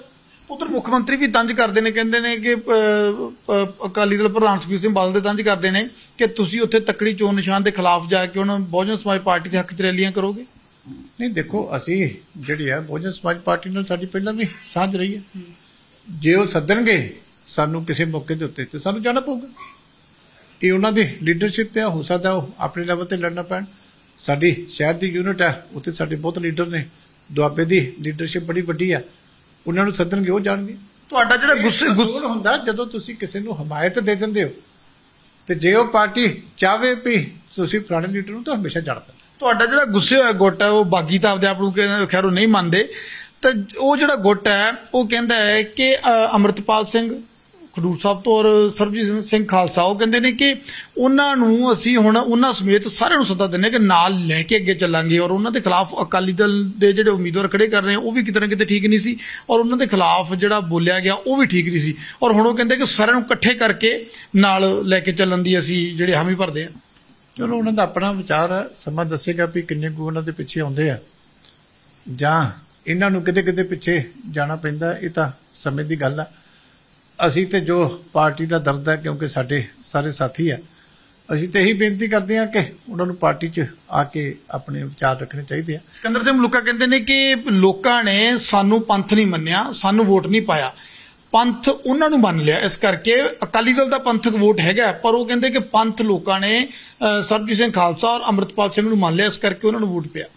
ਨਹੀਂ ਦੇਖੋ ਗੱਲ ਇਹ ਹੈ ਕਿ ਜਿਹੜਾ 1984 ਦਾ ਕਤਲੇਆਮ ਹੈ ਜਾਂ 1984 ਦਾ ਜਿਹੜਾ ਦਰਬਾਰ ਸਾਹਿਬ ਦੇ ਉੱਤੇ ਹਮਲਾ ਜਾਂ ਸਿੱਖ ਨੌਜਵਾਨੀ ਦਾ ਜਿਹੜਾ ਘਾਣ ਉਹਨਾਂ ਸਮਿਆਂ ਦੇ ਵਿੱਚ ਹੋਇਆ, ਇਹ ਇਹੋ ਜਿਹੇ ਅੱਲੇ ਜ਼ਖਮ ਹੈ ਜਿਹੜੇ ਇਨਸਾਫ ਨਾ ਮਿਲਣ ਕਰਕੇ ਅੱਜ ਵੀ ਸਾਡੇ ਲੋਕਾਂ ਦੇ ਮਨਾਂ ਦੇ ਵਿੱਚ ਜਿਹੜੇ ਆ ਇਹ ਜ਼ਖਮ ਅੱਲੇ ਆ ਔਰ ਤੁਸੀਂ ਇਤਿਹਾਸ ਦੇਖੋ, ਹਮੇਸ਼ਾ ਕਿਸੇ ਨਾ ਕਿਸੇ ਰੂਪ ਦੇ ਵਿੱਚ ਲੋਕੀ ਆਪਣੇ ਰੋਹ ਦਾ ਪ੍ਰਗਟਾਵਾ ਕਰਦੇ ਰਹੇ। ਪਹਿਲਾਂ ਸਰਦਾਰ ਸਿਮਰਜੀਤ ਸਿੰਘ ਮਾਨਹਰਾ ਨੂੰ ਜੇਲ੍ਹ ਦੇ ਵਿੱਚ ਬੈਠਿਆ ਲੋਕਾਂ ਨੇ ਜਿਤਾਇਆ। ਸਰਦਾਰ ਹਰਿੰਦਰ ਸਿੰਘ ਖਾਲਸਾ ਜੀ ਅਸਤੀਫਾ ਦੇ ਕੇ ਆਗੇ ਸੀ ਉਹਨਾਂ ਨੂੰ ਲੋਕਾਂ ਨੇ ਜੇਲ੍ਹ ਦੇ ਵਿੱਚ ਬੈਠਿਆ ਜਿਤਾਇਆ। ਔਰ ਉਹ ਜੇਲ੍ਹ ਚ ਨਹੀਂ ਸੀ ਉਹਨਾਂ ਨੂੰ ਵੀ ਅਹ, ਜਿਤਾਇਆ। ਜਿਹੜੇ ਸਰਦਾਰ ਬੇਅੰਤ ਸਿੰਘ ਸਰਬਜੀਤ ਸਿੰਘ ਦੇ ਦਾਦਾ ਜੀ ਸੀ ਸਰਦਾਰ ਸਰਦਾਰ ਸੁੱਚਾ ਸਿੰਘ ਮਲਵਾ ਸਰਦਾਰ ਬੇਅੰਤ ਸਿੰਘ ਦੇ ਫਾਦਰ। ਉਹਨਾਂ ਨੂੰ ਜਿਹੜਾ ਹੈਗਾ ਐਮਪੀ ਲੋਕਾਂ ਨੇ ਬਣਾਇਆ। ਬੀਬੀ ਬਿਮਲ ਕੌਰ ਖਾਲਸਾ ਜਿਹੜੇ ਸਰਦਾਰ ਸਰਬਜੀਤ ਸਿੰਘ ਦੇ ਮਾਤਾ ਜੀ ਸੀ ਉਹਨਾਂ ਨੂੰ ਐਮਪੀ ਬਣਾਇਆ। ਤੇ ਹੁਣ ਉਸੇ ਪਰਿਵਾਰ ਚੋਂ ਤੀਜਾ ਐਮਪੀ ਸਰਦਾਰ ਸਰਬਜੀਤ ਸਿੰਘ ਨੂੰ ਬਣਾਇਆ। ਇਸ ਕਰਕੇ ਮੈਂ ਗੱਲ ਕਹਿਣੀ ਚਾਹੁੰਦਾ ਕਿ ਇਹ ਜਿਹੜਾ ਸੈਂਟੀਮੈਂਟ ਹੈ ਲੋਕਾਂ ਦਾ ਇਹਨੂੰ ਕੇਂਦਰ ਸਰਕਾਰ ਨੂੰ ਸਮਝਣ ਦੀ ਲੋੜ ਹੈ। ਕਿ ਲੋਕੀ ਫੈਸਲਾ ਵੀ ਦਿੰਦੇ ਆ ਤੇ ਪਾਰਟੀ ਪੱਧਰ ਤੋਂ ਉੱਪਰ ਉੱਠ ਕੇ ਦਿੰਦੇ ਆ ਆਜ਼ਾਦ ਉਮੀਦਵਾਰਾਂ ਨੂੰ ਜਿਤਾ ਦਿੰਦੇ ਤੁਹਾਨੂੰ ਲੱਗਦਾ ਕਿ ਅਕਾਲੀ ਦਲ ਉਹਨਾਂ ਨੂੰ ਆਪਣੇ ਨਾਲ ਲੈ ਕੇ ਚੱਲ ਸਕਦਾ? ਤੁਹਾਨੂੰ ਲੱਗਦਾ ਕਿ ਸਰਬਜੀਤ ਸਿੰਘ ਖਾਲਸਾ ਨੂੰ? ਪਹਿਲਾਂ ਮੇਰੀ ਗੱਲ ਪੂਰੀ ਕਰ ਲੈਣ ਦਿਓ ਕਿ ਇਸ ਸੈਂਟੀਮੈਂਟ ਨੂੰ ਜਿਹੜਾ ਹੈਗਾ ਇਸ ਡਿਵੈਲਪਮੈਂਟ ਨੂੰ ਕੇਂਦਰ ਸਰਕਾਰ ਨੂੰ ਗੌ ਦੇ ਨਾਲ ਵਾਚਣਾ ਚਾਹੀਦਾ। ਅਸੀਂ ਵੀ ਉਸੇ ਸੈਂਟੀਮੈਂਟ ਦੇ ਮੱਦੇਨਜ਼ਰ ਜਿਹੜਾ ਕੈਂਡੀਡੇਟ ਆਪਣਾ ਫੀਲਡ ਕੀਤਾ ਸੀ, ਸਰਦਾਰ ਵਿਰਸਾ ਸਿੰਘ ਵਟੋਆ ਉਹ ਵੀ ਬਹੁਤ ਵੱਡੇ ਸੰਘਰਸ਼ ਦੇ ਵਿੱਚੋਂ ਨਿਕਲਿਆ ਹੋਇਆ ਸੀ। ਬੜਾ ਟੌਰਚਰ ਝੱਲਿਆ ਸੀ ਸਰਦਾਰ ਵਿਰਸਾ ਸਿੰਘ ਵਟੋਆ ਨੇ ਲੰਬਾ ਸਮਾਂ ਜੇਲ੍ਹਾਂ ਦੀਆਂ ਕਾਲ ਕੋਠੜੀਆਂ ਦੇ ਵਿੱਚ ਕੱਟੇ ਸੀ। ਇਹਨਾਂ ਦੇ ਵੀ ਉਦੋਂ ਜਿਉਂਦੇ ਰਹਿਣ ਦੀ ਕੋਈ ਆਸ ਨਹੀਂ ਸੀ। ਪਰ ਫ਼ਰਕ ਇਹ ਪੈ ਗਿਆ ਕਿ ਜਦੋਂ ਸਰਦਾਰ ਵਿਰਸਾ ਸਿੰਘ ਵਟੋਆ ਤੇ ਸਭ ਕੁਝ ਹੋਇਆ ਸੀ, ਉਹ 40 ਸਾਲ ਪਹਿਲਾਂ ਸੀ, ਉਹ ਸਾਡੇ ਅੱਜ ਦੇ ਨੌਜਵਾਨਾਂ ਨੂੰ ਹੁਣ ਯਾਦ ਨਹੀਂ ਪਤਾ ਨਹੀਂ, ਉਸ ਤੋਂ ਬਾਅਦ ਪੈਦਾ ਹੋਏ। ਅਸੀਂ ਉਸ ਵੇਲੇ ਕਾਲਜਾਂ 'ਚ ਸੀ, ਸਾਨੂੰ ਪਤਾ ਸੀ ਕਿ ਉਦੋਂ ਸਿੱਖ ਨੌਜਵਾਨਾਂ ਦੇ ਨਾਲ ਕੀ ਹੁੰਦਾ। ਲੇਕਿਨ ਜੋ ਕੁਝ ਸਰਦਾਰ ਅਮਰਤਪਾਲ ਸਿੰਘ ਨਾਲ ਹੋਇਆ, ਉਹ ਅੱਜ ਦੀ ਨੌਜਵਾਨੀ ਦੇ ਸਾਹਮਣੇ ਹੋਇਆ। ਕਿਉਂਕਿ ਜਿਸ ਤਰੀਕੇ ਉਹਦੇ ਤੇ ਐਨਐਸਏ ਲਗਾਇਆ ਗਿਆ, ਜਬਰ ਢਾਇਆ ਗਿਆ, ਉਹਨੂੰ ਦੂਜੀ ਸਟੇਟ ਦੇ ਵਿੱਚ ਜਾ ਕੇ ਰੱਖਿਆ ਗਿਆ, ਉਹਦੇ ਨਾਲ ਅਣਮਨੁੱਖੀ ਵਿਵਹਾਰ ਕੀਤਾ ਗਿਆ। ਇਹਦੇ ਤੇ ਪੰਜਾਬ ਦੀ ਨੌਜਵਾਨੀ ਜਿਹੜੀ ਹੈ, ਉਹ ਉਹਦੇ ਤੇ ਜਿਹੜੀ ਹੈਗੀ ਹੈ, ਕੁਦਰਤੀ ਗੱਲ ਹੈ। ਬੱਚੇ ਦੇ ਸਾਹਮਣੇ ਜੋ ਹੁੰਦਾ, ਉਹਦੇ ਤੇ ਉਹ ਭਾਵੁਕ ਹੁੰਦਾ। ਇਸ ਕਰਕੇ ਸਾਡੀ ਸੋਚ ਦੋਨਾਂ ਦੀ ਇੱਕੋ ਹੀ ਸੀ। ਪਰ ਤੁਹਾਨੂੰ ਫਿਰ ਕਿਤੇ ਕਿਤੇ ਲੱਗਦਾ ਕਿ ਉਸ ਗਣਿਤ ਨੂੰ ਸਮਝਣ ਦੇ ਵਿੱਚ ਫਿਰ ਕਿਤੇ ਨਾਕਾਮ ਰਹੇ ਜੇ ਤੁਸੀਂ ਸਿਆਸੀ ਗਣਿਤ ਸਮਝ ਗਏ ਸੀ ਜਾਂ ਬਾਅਦ ਚ ਹਾਲਾਤ ਬਦਲ ਗਏ ਸੀ। ਸਿਕੰਦਰ ਸਿੰਘ ਮਲੂਕਾ ਹੀ ਕਹਿੰਦੇ ਨੇ ਕਿ ਜਦੋਂ ਅਸੀਂ ਸਮਝ ਗਏ ਸੀ ਸਥਿਤੀ ਨੂੰ ਤਾਂ ਸਾਨੂੰ ਫੈਸਲਾ ਲੈ ਲੈਣਾ ਚਾਹੀਦਾ ਸੀ। ਦੇਖੋ ਅਸੀਂ ਤੇ ਫੈਸਲਾ ਇਸ ਇਲੈਕਸ਼ਨ ਤੋਂ ਵੀ ਪਹਿਲਾਂ ਬੰਦੀ ਸਿੰਘਾਂ ਦੇ ਹੱਕ ਦੇ ਵਿੱਚ ਭਾਈ ਰਾਜੋਆਣਾ ਸਾਹਿਬ ਦੀ ਭੈਣ ਨੂੰ ਖੜਾ ਕਰਕੇ ਦਿੱਤਾ। ਉਦੋਂ ਵੀ ਸਾਡਾ ਮਕਸਦ ਕੀ ਸੀਗਾ? ਵੀ ਇਹ ਇਸ਼ੂ ਜਿਹੜਾ ਹੈ, ਇਹ ਨੈਸ਼ਨਲ ਫੋਕਸ ਤੇ ਆਉ ਭਾਵੇਂ ਉਹ ਇਲੈਕਸ਼ਨ ਨਹੀਂ ਜਿੱਤ ਸਕੇ। ਪਰ ਅਕਾਲੀ ਦਲ ਦੀ ਮਨਸ਼ਾ ਤੇ ਇਹ ਸੀ ਕਿ ਹਿਊਮਨ ਰਾਈਟਸ ਦਾ ਬੜਾ ਵੱਡਾ ਇਸ਼ੂ ਹੈ ਤੇ ਅਸੀਂ ਆਪਣਾ ਕੈਂਡੀਡੇਟ ਉਸ ਪਰਿਵਾਰ ਦੇ ਵਿੱਚੋਂ ਦੇ ਕੇ ਤੇ ਇਸ ਇਸ਼ੂ ਨੂੰ ਅਸੀਂ ਸੈਂਟਰ ਦੇ ਵਿੱਚ ਜਿਹੜਾ ਹੈਗਾ ਫੋਕਸ ਦੇ ਵਿੱਚ ਲਿਆਈ। ਤੁਹਾਡੀ ਗੱਲ ਵਿੱਚ ਹੈ ਤੁਸੀਂ ਰਾਜਵਾਨਾ ਦੀ ਜੇ ਹੁਣ ਇਹਦੇ ਤੋਂ ਬੰਦੀ ਸਿੰਘਾਂ ਦੀ ਲਗਾਤਾਰ ਲੜਾਈ ਸ਼੍ਰੋਮਣੀ ਗੁਰਦੁਆਰਾ ਪ੍ਰਬੰਧਕ ਕਮੇਟੀ ਲੜ ਰਹੀ ਹੈ ਅਸੀਂ ਲੜ ਰਹੀ ਹਾਂ। ਅਸੀਂ ਸਾਰੇ ਬੰਦੀ ਸਿੰਘਾਂ ਦੀ ਗੱਲ ਕਰ ਰਹੇ ਸੀ। ਤੇ ਜੇ ਅਸੀਂ ਵਿਡਰਾ ਕਰਦੇ ਤੇ ਸਾਨੂੰ ਲੋਕਾਂ ਨੇ ਕਹਿਣਾ ਸੀ ਕਿ ਪਹਿਲਾਂ ਤਾਂ ਬੰਦੀ ਸਿੰਘ ਬੰਦੀ ਸਿੰਘ ਕਰੀ ਜਾਂਦੇ ਸੀ ਹੁਣ ਇਹ ਉਸ ਇਸ਼ੂ ਤੋਂ ਪਾਸੇ ਚਲੇ ਗਏ। ਇਸ ਕਰਕੇ ਅਸੀਂ ਤਾਂ ਸਮਝੌਤਾ ਜਿਹੜਾ ਤੋੜਿਆ ਉਹਦੇ 'ਚ ਮੇਨ ਹਿੱਸਾ ਸੀ। ਤੇ ਇਸ ਕਰਕੇ ਅਸੀਂ ਜਿਹੜਾ ਕੈਂਡੀਡੇਟ ਖੜਾ ਕੀਤਾ ਸੀ ਉਸੇ ਬੈਕਗ੍ਰਾਉਂਡ ਨਾਲ ਸੰਬੰਧਿਤ ਸੀ। ਤੁਸੀਂ ਜਿਹੜਾ ਸੰਗਰੂਰ ਦੀ ਗੱਲ ਕੀਤੀ ਹੈ? ਰਾਜਵਾਨਾ ਭਾਈ ਰਾਜਵਾਨਾ ਦੀ ਭੈਣ ਦੀ ਗੱਲ ਕੀਤੀ ਹੈ। ਸਿਕੰਦਰ ਸਿੰਘ ਲੋਕਾ ਇੱਥੋਂ ਤੱਕ ਕਹਿੰਦੇ ਨੇ ਕਿ ਉੱਥੇ ਵੀ ਕਿਤੇ ਨਾ ਕਿਤੇ ਅਹ, ਕੁਝ ਕੁ ਲੋਕਾਂ ਦੀ ਇਹ ਵੀ ਰਾਏ ਸੀ ਕਿ ਉੱਥੇ ਵੀ ਉਮੀਦਵਾਰ ਨਾ ਖੜਾ ਕੀਤਾ ਜਾਵੇ। ਪਰ ਉਹ ਕਹਿੰਦੇ ਕਿ ਜੇ ਰਾਜਵਾਨਾ ਦੀ ਭੈਣ ਉੱਥੇ ਹਾਰੀ ਆ ਉਹ ਅਕਾਲੀ ਦਲ ਹਾਰਿਆ। ਰਾਜਵਾਨਾ ਦੀ ਭੈਣ ਜੇ ਇੰਡੀਪੈਂਡੈਂਟ ਲੜਦੀ ਤਾਂ ਸ਼ਾਇਦ ਉਹ ਅੱਛੀ ਸਥਿਤੀ ਦੇ ਵਿੱਚ ਹੁੰਦੀ, ਪਰ ਅਕਾਲੀ ਦਲ ਦੇ ਖਿਲਾਫ ਲੋਕ ਇੰਨੇ ਸੀ ਕਿ ਸਾਡੀ ਵਜ੍ਹਾ ਨਾਲ ਉਹ ਵੀ ਹਾਰ ਗਈ। ਦੇਖੋ, ਅਕਾਲੀ ਦਲ ਤੇ ਉਸ ਤੋਂ ਪਹਿਲਾਂ 22 2022 ਚ ਵੀ ਹਾਰਿਆ।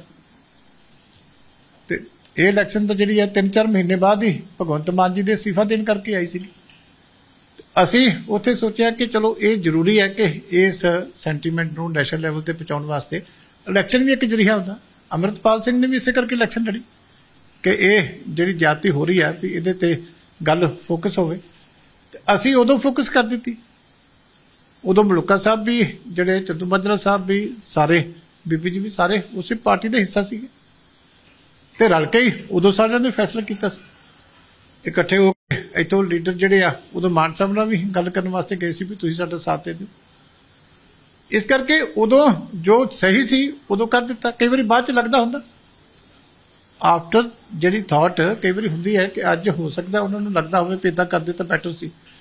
ਪਰ ਗੱਲ ਤਾਂ ਇਦਾਂ ਕਰਦੇ ਬੈਟਰ ਨਹੀਂ ਹੁੰਦੀ। ਗੱਲ ਤਾਂ ਕਿ ਜੋ ਕੀਤਾ, ਉਹ ਉਸ ਵੇਲੇ ਦੇ ਹਾਲਾਤਾਂ ਦੇ ਮੱਦੇਨਜ਼ਰ ਜੋ ਬੈਸਟ ਸੀ ਉਹ ਪਾਰਟੀ ਨੇ ਡਿਸੀਜਨ ਲਿਆ। ਤੁਹਾਡਾ ਗੁੱਸੇ ਹੋਇਆ ਧੜਾ ਜਿਹੜਾ ਬਾਗੀ ਧੜਾ ਜਿੱਦਾਂ ਪਹਿਲਾਂ ਕਿਹਾ ਉਹ ਆਪ ਨਹੀਂ ਖੋਂਦੇ ਤਾਂ ਉਹ ਹੁਣ ਅਕਾਲ ਤਖਤ ਸਾਹਿਬ ਤੇ ਮਾਫੀ ਮੰਗਣ ਲਈ ਉਹ ਕਹਿੰਦੇ ਜਾਣਾ ਕਿਉਂਕਿ ਅਸੀਂ ਉਸ ਵੇਲੇ ਸਰਕਾਰ ਦਾ ਹਿੱਸਾ ਸੀ, ਪਾਰਟੀ ਦੇ ਵਿੱਚ ਸੀ, ਉਹੀ ਡੇਰਾ ਮੁਖੀ ਨੂੰ ਮਾਫੀ ਔਰ ਗੋਲੀकांड ਇਹਨਾਂ ਦੋਨਾਂ ਮਸਲਿਆਂ, ਬੇਅਦਬੀ ਮਸਲਾ। ਇਹਨਾਂ ਸਾਰੀਆਂ ਚੀਜ਼ਾਂ ਨੂੰ ਲੈ ਕੇ ਉਹ ਕਹਿੰਦੇ ਕਿ ਅਸੀਂ ਬੇਸ਼ੱਕ ਅਸੀਂ ਕੁਝ ਕੀਤਾ ਨਹੀਂ, ਪਰ ਅਸੀਂ ਉਸ ਵੇਲੇ ਸੱਤਾ ਸੀ, ਪਾਰਟੀ ਸੀ, ਇਸ ਕਰਕੇ ਅਸੀਂ ਵਿਧੀ ਵਿਧਾਨ ਨਾਲ ਮਾਫੀ ਮੰਗਣ ਜਾਣਾ ਹੈ। ਤਖਤ ਸਾਹਿਬ ਤੇ, ਜਿਹੜੀ ਕਿ ਪ੍ਰਧਾਨ ਸਾਹਿਬ ਨੇ ਨਹੀਂ ਮੰਨੀ। ਦੇਖੋ, ਗੱਲ ਇਹ ਹੈ ਕਿ ਪ੍ਰਧਾਨ ਸਾਹਿਬ ਨੇ ਜਦੋਂ ਅਕਾਲੀ ਦਲ ਦਾ ਸਥਾਪਨਾ ਦਿਵਸ ਸੀ, ਉਹਨਾਂ ਨੇ ਕੋਈ ਉਦੋਂ ਸਲਾਹ ਕਰਕੇ ਨਹੀਂ, ਜੋ ਉਹਨਾਂ ਦੇ ਮਨ ਦੇ ਵਿੱਚ ਆਇਆ, ਸ੍ਰੀ ਅਕਾਲ ਤਖਤ ਸਾਹਿਬ ਦੇ ਸਨਮੁਖ ਬਾਬਾ ਗੁਰਬਖਸ਼ ਸਿੰਘ ਜੀ ਦਾ ਜਿਹੜਾ ਗੁਰਦੁਆਰਾ, ਉੱਥੇ ਗੁਰੂ ਸਾਹਿਬ ਦੀ ਹਜ਼ੂਰੀ ਦੇ ਵਿੱਚ ਜਿਹੜਾ ਉੱਥੇ ਸੰਗਤ ਦੇ ਵਿੱਚ ਖੁੱਲ ਕੇ ਮਾਫੀ ਮੰਗੀ ਸੀ। ਉਹਨਾਂ ਦੇ ਮਨ ਦੀ ਭਾਵਨਾ ਸੀ। ਇਹ ਸਾਡੇ ਸਾਰੇ ਵੀਰ ਵੀ ਉਸ ਵੇਲੇ ਉੱਥੇ ਹੀ ਸੀਗੇ। ਤੁਸੀਂ ਸਾਰਿਆਂ ਦੇ ਅਗਲੇ ਦਿਨ ਦੇ ਅਖਬਾਰਾਂ ਦੇ ਬਿਆਨ ਉਹਨਾਂ ਦਿਨਾਂ ਦੀਆਂ ਟੀਵੀ ਦੀਆਂ ਕਲਿੱਪਿੰਗ ਸੁਣ ਲਓ। ਵੀ ਇਹਨਾਂ ਨੇ ਕਿੰਨੀ ਤਾਰੀਫ ਉਸ ਗੱਲ ਦੀ ਕੀਤੀ ਸੀ ਕਿ ਆਹ ਕੰਮ ਬਹੁਤ ਵਧੀਆ ਹੋ ਗਿਆ। ਹਾਲਾਂਕਿ ਪ੍ਰਧਾਨ ਸਾਹਿਬ ਨੇ ਸਹਿਮਤ ਕੀਤਾ ਸੀ। ਸ਼੍ਰੀ ਅਕਾਲ ਤਖਤ ਸਾਹਿਬ ਦੀ ਇੱਕ ਵਿਧੀ ਵਿਧਾਨ ਹੈ ਕਿ ਜਦੋਂ ਕੋਈ ਧਾਰਮਿਕ ਅਵਗਿਆ ਕਰਦਾ ਹੈ, ਉਹਦੀ ਕੋਈ ਸ਼ਿਕਾਇਤ ਹੁੰਦੀ ਹੈ ਤੇ ਸਿੰਘ ਸਾਹਿਬਾਨ ਮੈਰਿਟ ਤੇ ਉਸ ਮਸਲੇ ਨੂੰ ਵਿਚਾਰ ਕੇ ਜੇ ਮਹਿਸੂਸ ਕਰਦੇ ਆ ਕਿ ਇਸ ਵਿਅਕਤੀ ਨੂੰ ਬੁਲਾਇਆ ਜਾਣਾ ਚਾਹੀਦਾ, ਤੇ ਉਹਨੂੰ ਤਲਬ ਕੀਤਾ ਜਾਂਦਾ। ਸ਼੍ਰੋਮਣੀ ਅਕਾਲੀ ਦਲ ਨੂੰ, ਸ਼੍ਰੋਮਣੀ ਅਕਾਲੀ ਦਲ ਦੇ ਪ੍ਰਧਾਨ ਨੂੰ ਕਿਸੇ ਲੀਡਰ ਨੂੰ ਅੱਜ ਤੱਕ ਸ੍ਰੀ ਅਕਾਲ ਤਖਤ ਸਾਹਿਬ ਨੇ ਤਲਬ ਨਹੀਂ ਕੀਤਾ। ਕਿਉਂਕਿ ਜਦੋਂ ਸ੍ਰੀ ਅਕਾਲ ਤਖਤ ਸਾਹਿਬ ਕਿਸੇ ਨੂੰ ਤਲਬ ਕਰਦਾ, ਤੇ ਉਹ ਬੰਦਾ ਸਿੱਖ ਹੀ ਨਹੀਂ ਜੇ ਉੱਥੇ ਹਾਜ਼ਰ ਨਾ ਹੋਵੇ ਉਹ ਤਾਂ ਉਸੇ ਵੇਲੇ ਸੀਸ ਨਵਾ ਕੇ ਉੱਥੇ ਹਾਜ਼ਰ ਹੋਣਾ ਪੈਂਦਾ। ਅਸੀਂ ਤਾਂ ਹਮੇਸ਼ਾ ਹੀ ਸ੍ਰੀ ਅਕਾਲ ਤਖਤ ਨੂੰ ਸਮਰਪਿਤ ਰਹੇ ਹਾਂ। ਇਸ ਕਰਕੇ ਇਹ ਇਸ਼ੂ ਕਦੀ ਖੜਾ ਨਹੀਂ ਹੋਇਆ, ਕਿਉਂਕਿ ਨਾ ਤਾਂ ਕਿਸੇ ਨੇ ਕਿਹਾ, ਨਾ ਕਦੀ ਸ੍ਰੀ ਅਕਾਲ ਤਖਤ ਸਾਹਿਬ ਨੇ ਕਿਸੇ ਲੀਡਰ ਨੂੰ ਤਲਬ ਕੀਤਾ। ਇਸ ਕਰਕੇ ਸਾਡੇ ਭਰਾਵਾਂ ਨੂੰ ਹੁਣ ਚਾਹੀਦਾ ਹੈ ਕਿ ਇਹ ਜਿਹੜੇ ਇੰਨੇ ਸਾਲ ਇਸੇ ਪਾਰਟੀ 'ਚ ਰਹੇ, ਇਹ ਇਲੈਕਸ਼ਨਾਂ ਤੋਂ ਪਹਿਲਾਂ ਵੀ, ਟਿਕਟਾਂ ਤੋਂ ਪਹਿਲਾਂ ਵੀ ਕਦੀ ਸੋਚ ਲਿਆ ਕਰ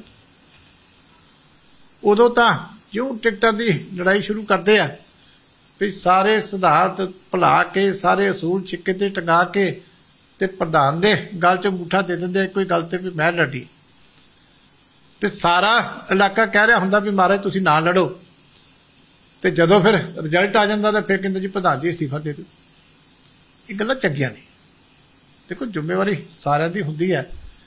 ਇਹ ਗੁਰੂ ਵੀ ਸਮਝਦਾ ਵੀ ਤੁਸੀਂ ਕੀ ਗੱਲ ਕਰ ਰਹੇ ਹੋ। ਤੇ ਸੰਗਤ ਵੀ ਸਮਝਦੀ ਹੈ ਕੀ ਗੱਲ ਕਰ ਰਹੀ ਹੈ। ਇਸ ਕਰਕੇ ਜੇ ਉਹਨਾਂ ਨੇ ਜਾਣਾ ਸ਼੍ਰੀ ਤਖਤ ਸਾਹਿਬ ਤੇ ਫਿਰ ਜ਼ਰੂਰ ਜਾਣ। ਇੱਕ ਸਿਕੰਦਰ ਸਿੰਘ ਉਹਨਾਂ ਦੀ ਜਿਹੜੀ ਇੱਛਾ ਪੂਰੀ ਕਰੇ। ਹਰ ਇੱਕ ਦਾ ਹੱਕ ਹੈ ਕੋਈ ਵੀ ਜਾ ਸਕਦਾ। ਜਿਹੜਾ ਸਾਰਿਆਂ ਦਾ ਘਰ ਹੈ ਉੱਥੇ ਕਿਸੇ ਨੂੰ ਕੋਈ ਕਿਸੇ ਤੋਂ ਆਗਿਆ ਥੋੜੀ ਲੈਣੀ ਜਿਹਦਾ ਦਿਲ ਕਰਦਾ ਜਾਵੇ ਜ਼ਰੂਰ ਜਾਵੇ। ਸਿਕੰਦਰ ਸਿੰਘ ਲੁਕਾ ਹੋਣੀ ਇੱਕ ਹੋਰ ਵੱਡੀ ਗੱਲ ਕਹਿੰਦੇ ਨੇ ਉਹ ਕਹਿੰਦੇ ਨੇ ਜਿਹੜੀ ਹਾਲਾਤ ਇਸ ਵੇਲੇ ਜਿਹੜੇ ਹਾਲਾਤ ਬਣੇ ਹੋਏ ਨੇ ਪਾਰਟੀ ਦੇ ਉਹ ਕਹਿੰਦੇ ਚਾਰ ਇਲੈਕਸ਼ਨਾਂ ਹਾਰ ਗਏ ਆ ਐਸਜੀਪੀਸੀ ਚੋਣਾਂ ਕਹਿੰਦੇ ਜੇ ਕੱਲ ਹੋ ਜਾਂਦੀਆਂ, ਜਦੋਂ ਵੀ ਹੋਣਗੀਆਂ, ਤਾਂ ਅਕਾਲੀ ਦਲ ਧੜਾ ਜਿਹੜਾ ਸੁਖਬੀਰ ਸਿੰਘ ਬਾਦਲ ਜੀ ਦੀ ਅਗਵਾਈ ਕਰਦੇ ਨੇ, ਉਹ ਹਾਰ ਜਾਏਗਾ। ਔਰ ਉੱਥੇ ਉਸ ਵੇਲੇ ਪੰਥਕ ਧੜਾ ਜਿੱਤੇਗਾ। ਔਰ ਪੰਥਕ ਧੜਾ ਤੁਸੀਂ ਸਮਝਦੇ ਹੋ ਕਿ ਉਹ ਕਿੱਦਾਂ ਕਿਹਦਾ ਜ਼ਿਕਰ ਕਰ ਰਹੇ ਨੇ? ਉਹ ਕਹਿੰਦੇ ਕਿ ਐਸਜੀਪੀਸੀ ਚੋਣਾਂ ਦੇ ਵਿੱਚ ਬੁਰੀ ਤਰ੍ਹਾਂ ਹਾਲ ਹੋਏ ਬੁਰੀ ਹਾਲਤ ਹੋਏਗੀ ਅਕਾਲੀ ਦਲ ਸੁਖਬੀਰ ਸਿੰਘ ਬਾਦਲ ਦੀ ਪ੍ਰਧਾਨਗੀ ਵਾਲੇ ਦੀ। ਦੇਖੋ, ਕਈ ਵਾਰੀ ਨਾ ਪੱਖੀ ਖਿਆਲ ਮਨ ਚ ਆ ਜਾਂਦੇ ਆ। ਆ ਜਿਹੜੀ ਪਿਛਲੀ ਪ੍ਰਧਾਨਗੀ ਦੀ ਚੋਣ ਸੀ, ਉਦੋਂ ਵੀ ਸਾਰੇ ਕਹਿੰਦੇ ਸੀ ਵੀ ਪੰਥਕ ਧੜਾ ਜਿੱਤੇਗਾ। ਫਿਰ ਜਿੱਤੇ ਤੇ ਸਰਦਾਰ ਹਰਜਿੰਦਰ ਸਿੰਘ ਧਾਮੀ ਜੀ ਜਿੱਤਿਆ ਤਾਂ ਫਿਰ ਸ਼੍ਰੋਮਣੀ ਅਕਾਲੀ ਦਲ ਹੀ ਸੀ। ਤੇ ਸ਼੍ਰੋਮ ਧਾਮੀ ਸਾਹਿਬ ਹੁਣ ਪੰਥਕ ਨਹੀਂ। ਇਹ ਆਪਣੇ ਆਪ ਹੀ ਹੈ ਨਾ ਜਿਹੜਾ ਮਰਜ਼ੀ ਠੱਪਾ ਲਾ ਲਵੇ ਮੈਂ ਪੰਥਕ ਆ ਤੇ ਦੂਜਾ ਗੈਰ ਪੰਥਕ ਆ। ਇਹ ਸਵਾਲ ਕਿਉਂ ਪੈਦਾ ਹੋਇਆ ਕਿ ਅਕਾਲੀ ਦਲ ਦੇ ਨਾਲੋਂ ਪੰਥਕ ਸ਼ਬਦ ਕਿਉਂ ਪਾਸੇ ਹੁੰਦਾ ਜਾ ਰਿਹਾ? ਤਾਂ ਜਿਹੜੀ ਹੈ ਹਮੇਸ਼ਾ ਸੰਗਤ ਕਰਦੀ ਹੈ ਐਸਜੀਪੀਸੀ ਦੇ ਪ੍ਰਧਾਨੀਆਂ ਦੇ ਫੈਸਲੇ ਮੈਂਬਰ ਸਹਿਬਾਨ ਕਰਦੇ ਆ ਜਿਨ੍ਹਾਂ ਨੂੰ ਚੁਣ ਕੇ ਸੰਗਤ ਭੇਜਦੀ ਹੈ ਇਸ ਕਰਕੇ ਕਈ ਵਾਰੀ ਮਨ ਦੇ ਵਿੱਚ ਜਦੋਂ ਨਾ ਪੱਕੀ ਸੋਚ ਆ ਜਾਵੇ ਨਾ ਫਿਰ ਬੰਦਾ ਹਰ ਪਾਸੇ ਹੀ ਸੋਚਦਾ ਰਹਿੰਦਾ ਵੀ ਹੁਣ ਇਦਾਂ ਹੋ ਜਾਣਾ ਹੁਣ ਇਦਾਂ ਹੋ ਜਾਣਾ। ਇਸ ਡਿਪਰੈਸ਼ਨ ਚੋਂ ਨਿਕਲਣਾ ਚਾਹੀਦਾ। ਜਿਵੇਂ ਸਾਹਿਬ ਅਹ, ਆਖਰੀ ਟਿੱਪਣੀ ਚਾਹੂੰਗਾ ਤੁਹਾਡੀ ਜਿਹੜਾ ਵੀ ਕੋਈ ਤੁਹਾਡਾ ਜਿਹੜੇ ਸਾਥੀ ਗੁੱਸੇ ਹੋ ਕੇ ਗਏ ਨੇ, ਉਹ ਇਹ ਕਹਿੰਦੇ ਨੇ ਕਿ ਅਸੀਂ ਅਕਾਲੀ ਦਲ ਨੂੰ ਮਜ਼ਬੂਤ ਕਰਨਾ ਚਾਹੁੰਦੇ ਹਾਂ। ਹਲੇ ਵੀ ਕਹਿੰਦੇ ਇਕੱਠੇ ਹੋ ਕੇ ਚੱਲਣਾ ਚਾਹੀਦਾ। ਸਿਕੰਦਰ ਸਿੰਘ ਮਲੂਕਾ ਨੇ ਸਾਫ਼ ਤੌਰ ਤੇ ਕਿਹਾ ਕਿ ਇਕੱਠੇ ਹੋ ਕੇ ਚੱਲਣਾ ਚਾਹੀਦਾ। ਜੇ ਇਕੱਠੇ ਹੋ ਕੇ ਚੱਲਣ ਦੀ ਗੱਲ ਹੁੰਦੀ ਆ, ਤਾਂ ਕੀ ਸਰਿਆਂ ਦੇਣਾ ਚਾਹੋਗੇ? ਫਿਰ ਇਕੱਠੇ ਕਿਵੇਂ ਹੋਣਾ? ਪਰ ਉਹ ਕਹਿੰਦੇ ਇਕੱਠੇ ਹੋਇਆ ਜਾਣਾ, ਪ੍ਰਧਾਨ ਸਾਹਿਬ ਦੀ ਕੁਰਸੀ ਜਿਹੜੀ ਉਹ ਖਾਲੀ ਕਰਾਉਣੀ ਪੈਣੀ ਹੈ ਤਾਂ ਕੀ ਤੁਹਾਨੂੰ ਲੱਗਦਾ ਹੈ ਕਿ ਇੱਕ ਵਾਰੀ ਫਿਰ ਤੋਂ ਸਾਰੇ ਇਕੱਠੇ ਹੋ ਸਕਦੇ ਨੇ? ਕੋਸ਼ਿਸ਼ ਕਰੋਗੇ ਕੋਈ ਰਸਤਾ ਕੱਢਣ ਦੀ ਕਿ ਇਹ ਗੁੱਸੇ ਹੋਏ ਜਿਹੜੇ ਵਾਪਸ ਘਰੇ ਆ ਜਾਣ? ਦੇਖੋ, ਮੈਂ ਤਾਂ ਕੌਣ ਹੁੰਨਾ ਕੁਝ ਕਹਿਣ ਵਾਲਾ। ਪਾਰਟੀ ਦੀ ਵਰਕਿੰਗ ਕਮੇਟੀ ਨੇ ਮੀਟਿੰਗ ਕਰਕੇ ਰੈਜੋਲੂਸ਼ਨ ਕੀਤਾ ਕਿ ਸਾਰੇ ਲੀਡਰ ਸਾਹਿਬਾਨਾਂ ਨੂੰ ਪਾਰਟੀ ਦੀ ਮਜ਼ਬੂਤੀ ਵਾਸਤੇ ਪਾਰਟੀ ਪਲੇਟਫਾਰਮ ਤੇ ਆ ਕੇ ਗੱਲ ਕਰਨੀ ਚਾਹੀਦੀ। ਪਰ ਅਫਸੋਸ ਹੈ ਕਿ ਉਸ ਤੋਂ ਬਾਅਦ ਵੀ ਸਾਡੇ ਸੀਨੀਅਰ ਸਾਥੀਆਂ ਨੇ ਬਾਹਰ ਜਾ ਕੇ ਪ੍ਰੈਸ ਕਾਨਫਰੰਸਾਂ ਕਰਕੇ ਪਾਰਟੀ ਦੇ ਖਿਲਾਫ ਬੋਲੇ ਨੇ। ਉਹਨਾਂ ਨੂੰ ਮੰਨਣਾ ਚਾਹੀਦਾ ਸੀ। ਉਹ ਆਪ ਇਹਨਾਂ ਸਫਾਂ ਦੇ ਵਿੱਚ ਇੰਨਾ ਲੰਬਾ ਸਮਾਂ ਮੇਰੇ ਤੋਂ ਤਾਂ ਵੱਧ ਸਮਾਂ ਰਹੇ ਨੇ। ਤੇ ਜੇ ਤੁਸੀਂ ਹੁਣ ਵਰਕਿੰਗ ਕਮੇਟੀ ਦੀ ਵੀ ਗੱਲ ਨਹੀਂ ਮੰਨਦੇ, ਤੇ ਇਹ ਤਾਂ ਜਿੱਦ ਹੁੰਦੀ ਹੈ। ਪਾਰਟੀ ਚੱਲਦੀ ਡੈਮੋਕ੍ਰੈਟਿਕ ਸਿਸਟਮ ਦੇ ਨਾਲ। ਜਦੋਂ ਸਰਬਸੰਮਤੀ ਦੇ ਨਾਲ ਵਰਕਿੰਗ ਕਮੇਟੀ ਜ਼ਿਲ੍ਹਾ ਜਥੇਦਾਰ ਸਹਿਬਾਨ, ਹਲਕਾ ਇੰਚਾਰਜ ਸਹਿਬਾਨ ਆਪੋ ਆਪਣੀਆਂ ਮੀਟਿੰਗਾਂ ਦੇ ਵਿੱਚ ਪ੍ਰਧਾਨ ਦੀ ਜਿਹੜੀ ਅਸਤੀਫੇ ਦੀ ਤਜਵੀਜ਼ ਨੂੰ ਰੱਦ ਕਰ ਚੁੱਕੇ ਤੇ ਫਿਰ ਤੁਸੀਂ ਦੋ ਚਾਰ ਬੰਦੇ ਕਹੋਗੇ ਵੀ ਪ੍ਰਧਾਨ ਅਸਤੀਫਾ ਦੇ ਦੇ ਗੈਰ ਵਾਜਬ ਗੱਲ। ਚਲੋ ਇੱਕ ਚੀਜ਼ ਹੋਰ ਦੱਸ ਦਿਓ ਫਿਰ। ਜਿਹੜੇ ਆਗੂ ਇਸ ਵੇਲੇ ਤੁਹਾਨੂੰ ਬਾਗੀ ਨਜ਼ਰ ਆਉਂਦੇ ਨੇ, ਕੀ ਉਹ ਇਸ ਵੇਲੇ ਹਲੇ ਵੀ ਅਕਾਲੀ ਦਲ ਦਾ ਹਿੱਸਾ ਮੰਨਦੇ ਹੋ ਤੁਸੀਂ ਉਹਨਾਂ ਨੂੰ? ਔਰ ਜਾਂ ਉਹਨਾਂ ਦੇ ਖਿਲਾਫ ਕਾਰਵਾਈ ਦੀ ਤਿਆਰੀ ਹੈ? ਦੇਖੋ, ਮੈਂ ਤੇ ਇਹਦੇ ਤੇ ਨਹੀਂ ਕਮੈਂਟ ਕਰ ਸਕਦਾ। ਸਰਦਾਰ ਬਲਵਿੰਦਰ ਸਿੰਘ ਭੁੰਦਰ ਸਾਹਿਬ, ਅਨੁਸ਼ਾਸਨੀ ਕਮੇਟੀ ਦੇ ਚੇਅਰਮੈਨ ਇਹ ਉਹਨਾਂ ਦਾ ਅਧਿਕਾਰ ਖੇਤਰ ਹੈ। ਉਹਨਾਂ ਨੇ ਦੇਖਣਾ ਹੈ ਕਿ ਕਿਹੜਾ ਅਨੁਸ਼ਾਸਨ ਦੇ ਘੇਰੇ ਦੇ ਵਿੱਚ ਹੈ, ਕਿਹੜਾ ਅਨੁਸ਼ਾਸਨ ਦੇ ਘੇਰੇ ਦੇ ਵਿੱਚ ਨਹੀਂ ਹੈ। ਕੋਈ ਐਕਸ਼ਨ ਲੈਣਾ, ਨਹੀਂ ਲੈਣਾ, ਉਹ ਸਿਆਣੇ ਨੇ, ਸਮਰੱਥ ਨੇ। ਤੇ ਉਹ ਆਪਣੇ ਆਪ ਅਨੁਸ਼ਾਸਨੀ ਕਮੇਟੀ ਦਾ ਇਹ ਕੰਮ ਹੈ। ਮੈਂ ਤੇ ਬੇਨਤੀ ਕਰ ਸਕਦਾ ਸੀਗਾ। ਅੱਗੇ ਕੱਲ ਵੀ ਕੀਤੀ, ਅੱਜ ਵੀ ਕੀਤੀ। ਕੱਲ ਨੂੰ ਭਾਵੇਂ ਫੇਰ ਆ ਜਾਓ, ਮੈਂ ਫੇਰ ਕਰ ਦੂੰਗਾ। ਇਸ ਕਰਕੇ ਅਸੀਂ ਤੇ ਬੇਨਤੀ ਕਰਨ ਵਾਲੇ ਹੀ ਆ ਬਾਕੀ ਤੇ ਕੰਮ ਅਨੁਸ਼ਾਸਨੀ ਕਮੇਟੀ